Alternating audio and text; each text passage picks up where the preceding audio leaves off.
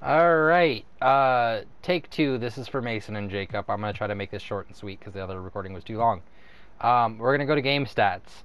Uh, we're gonna look at my team, and we're gonna see on the right-hand side over here. You'll see Shaq, injury, dislocated left finger. Um, we're gonna watch that dislocated finger happen because shit's fucking hilarious.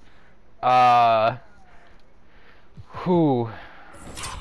The replay is pretty far back because I played a little bit more of the game since then. But like, see him on the court right now. You you briefly saw Shaq, I'm sure. But like, point being, uh, he wasn't on the court when it happened, which is the glorious part of this. Uh, Shaq was literally on the bench and dislocated his finger. Um,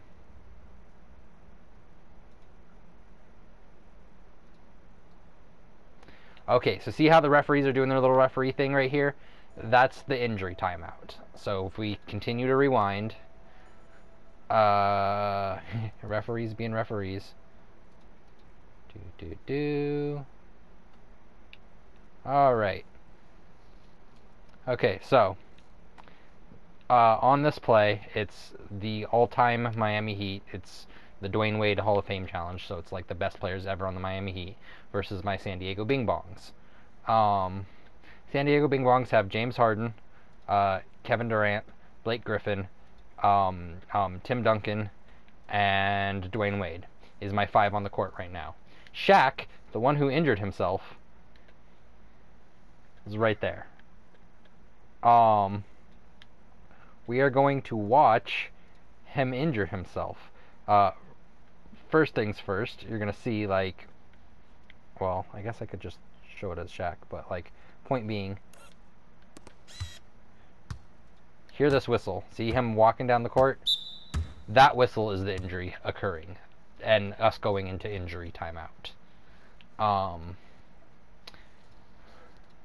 like, as you could see, nobody did anything to cause an injury timeout. Like when it first happened, I thought it was just a regular timeout, and they started talking about, oh, you hate to see injuries in the game, and I'm like, who injured themselves? And I didn't see anyone do anything. I was a little bit confused, and I just wanted to sub Tim Duncan back out for Shaq because I use Shaq way more often.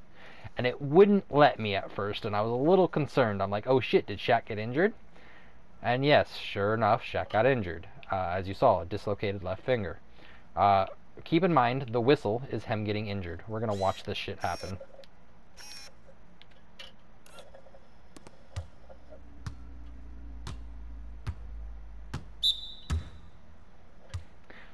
Um, one of two things happened.